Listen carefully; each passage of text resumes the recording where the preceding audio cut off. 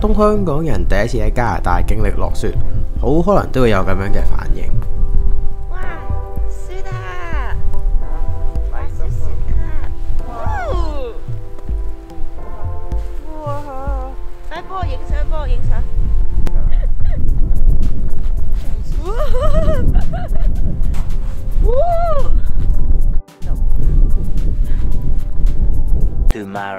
咁呢個 Winnipeg 嘅鏟雪隊係非常之有效率啦。通常第二日呢，就會將所有雪咧鏟晒上行人路噶啦，所以就可以體驗一下喺行人路上面溜冰嘅感覺。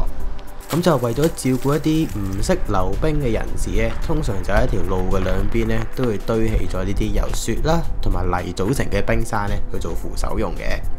咁為咗照顧一啲冇車嘅人士呢，咁呢度呢係有巴士提供嘅。咁同埋咧，仲有個 app 添啦，可以實時 check 到呢個班次嘅情況啊。later，但係呢度嘅巴士有時候同某個地方嘅警察係非常之相似嘅。咁當你好需要佢嘅時候，佢係可以唔出現嘅。明明只係十分鐘嘅路程，但係等咗成三十九分鐘，架巴士都仲係未到嘅。two thousand years later，當你生活咗幾年之後，可能都要變成咁。哇，暴風雪啊！不過應該唔係好凍嘅啫，出去買杯嘢飲先。啲人話加拿大嘅冬天真係非常之凍，但係其實我覺得香港嘅濕凍先至係世界第一。所以呢啲嘅暴風雪相比起嚟講，只不過係啲雞毛蒜皮嘢嚟嘅啫。所以，it's just another normal days in Canada。